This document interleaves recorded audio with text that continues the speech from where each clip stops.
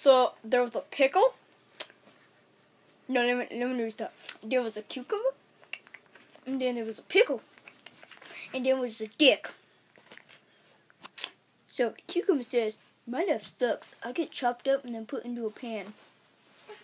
Then the pickle says, I get put into vinegar after that and then put in a jar.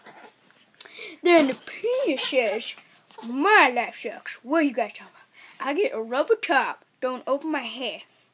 I get thrown into a dark room and then get my hair bashed off the freaking wall and then I puke and then pass out.